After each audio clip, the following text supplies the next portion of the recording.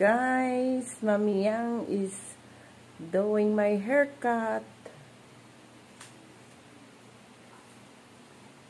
See? Bulang gastos. Ayaw namon magpa-parlor.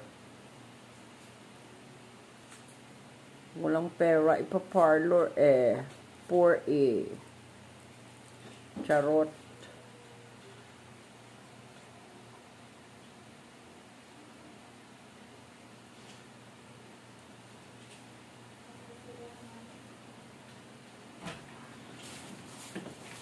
Pag nagpagupit ko ng buhok ko, alams nyo na yun. Kasi, pag lumagpas ng shoulder ang buhok ko, yung boyfriend ko over there, nagpaparamdam. He loves my long hair. Wala lang tawang guyatanin ka namin. Hmm, wala na edit. Hmm.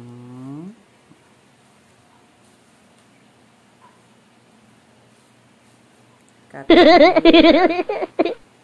Mami yang is cutting my hair.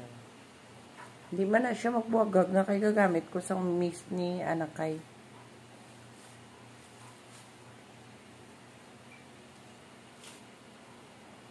Kung wala mist, ite, gaano.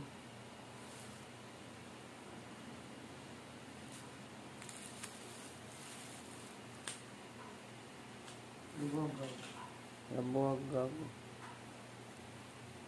Tituod no, kung tigulang ka na bala kaglaba ka buhok, doon nagatigulang ka pagid no. Depende guro. Hindi ko madaan kasaho mag ano, kasaho mag bunghay. Gusto ko permigid ano, ponytail. Ti do hindi nakapapangusay naman. Basta laba mo ko, wala ko kapangusay. In short, hindi ako nagsusuklay. Ganon. Tamad. Ganyan na siya kahaba. Tapos pinutol ng ganyan.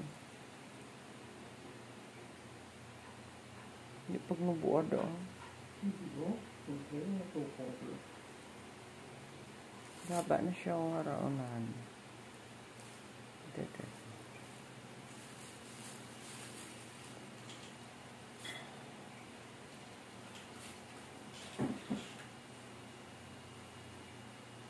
Tipid sa shampoo, tipid sa conditioner.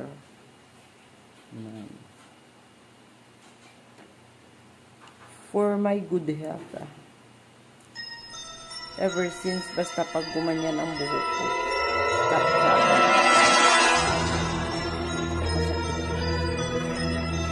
Yan ang paniniwala. Kaya patuloy lang sa biyahe ng buhay. Pag humaba, lagpas ng puso kakasakit ako kaya putol.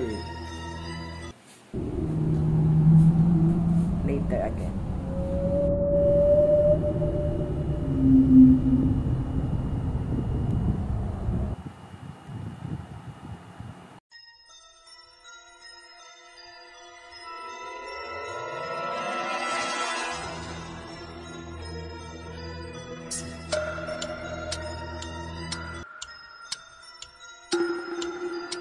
Amit nga, mon panyaga. Ako na sa isa kabilog ang pasayan. Tapos sa sudan, paborito ko sa tanan. Hula ko na nagkaon, isa lang kapasayan. Tinang ko nga blanch. Half cup lang ko nga rice. Pero Ano? hindi pa sa kontento, sa mo nga kadako nga rice. Ginasite niya pang rice ni Paps. Ang baya pa na, naraskili niya. Paps, you're not going to eat that rice. I caught it, so I got it. It's just two scoops na lang. Nami, eh, no? Isang, ano, duwa na lang. Miski hindi na ako gusto magkaon, kaon ko na lang. Pero promise, sa birthday, ah, wala ko no cake. Mangita, tasan. Mangita, mangita, sabi mangita, kasi ako nung yung subayo niya ko nung para ko nung may... Oy, sa IKEA, may ara na ya. May sugar free na yan. Ay, IKEA. Sa Kaleya. Sa Kaleya. Mangita ta sa Kaleya. Hamak mo na.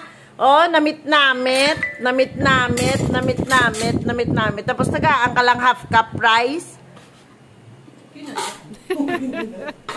Sige, mangita ta ano, mangita ta sugar free nga cake. Taran! Yes, guys. Ginutda ni Mami ang akon nga hair.